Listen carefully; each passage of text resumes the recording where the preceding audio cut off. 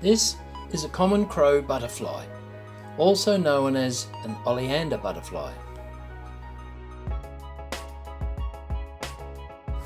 One day I observed a female laying an egg on a leaf of a fig tree. She was very particular about which leaf and only laid one egg, then she flew away. Round about 14 days later, the egg developed a dark spot at the bottom. You could see movement then 16 days later, something amazing happened. That little caterpillar chewed his way out of that egg. He was ready to start a new life. The little caterpillar's main aim in life was to eat and grow big. It started by scraping at the leaf, then began to chew the edges. It wasn't long before it was too big for its skin so it had to shed it. This is called an instar.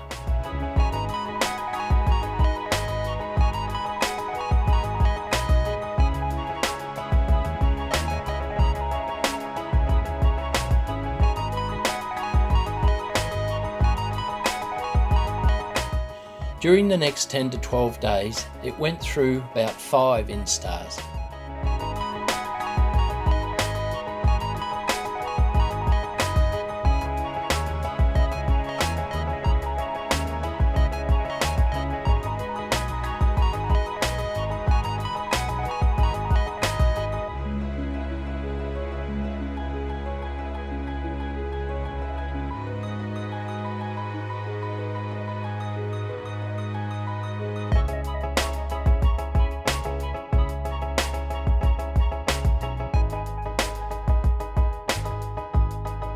Each time getting bigger and getting more and more colour and distinctive markings.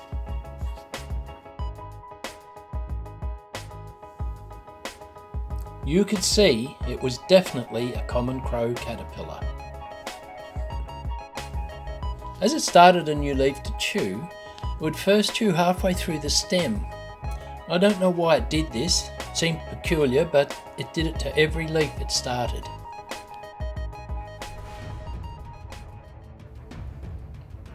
As it got bigger, it became an eating machine, devouring two to three leaves a day.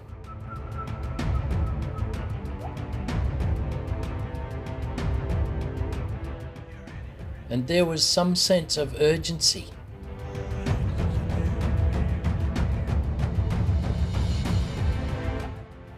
Then it stopped and rested a few hours. After that, its behaviour changed. Then as I watched it, I noticed it was depositing a white glue-like substance on the underside stem of a leaf. Then it turned around and glued its tail end to the white blob.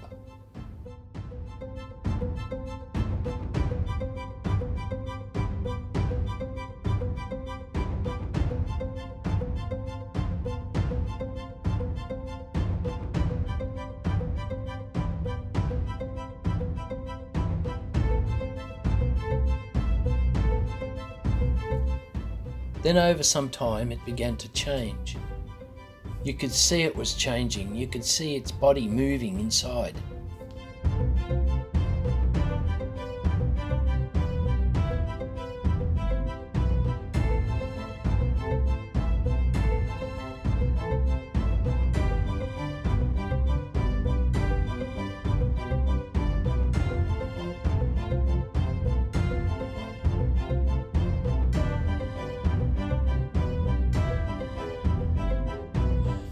Then all of a sudden, within a few minutes, it shed its skin again.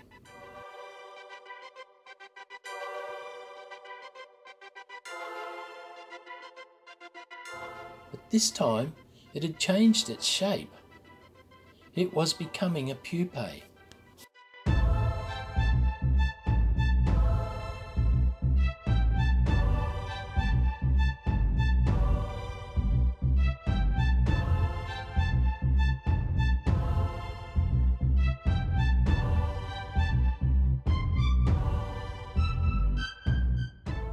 During the next few days, its pupa hardened and became very shiny, very chrome like. You could see some movement inside, like pulsating like it was a heartbeat.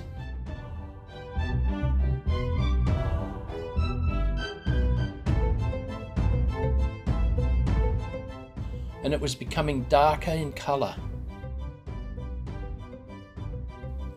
Its wings became very visible as it became even darker.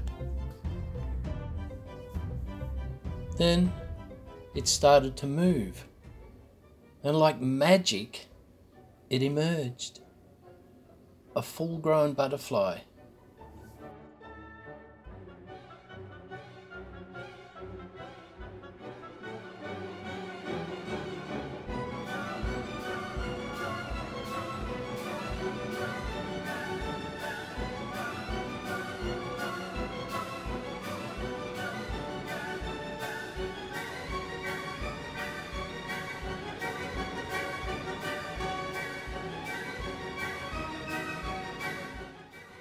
It hung there on its empty chrysalis to dry and pump up its wings.